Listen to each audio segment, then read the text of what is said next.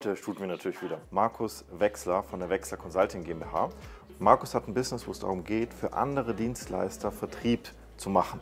Und da ist natürlich auch Vertrauen besonders wichtig, ja, weil da steckt das Geld drin. Und genau darum geht es auch hier. Das heißt, wir haben zum einen schon viele Vertriebsszenen abgeschootet und zum anderen haben wir natürlich auch hier jetzt Shots gemacht, wo Markus als der Experte dargestellt wird, der halt eben auch ist.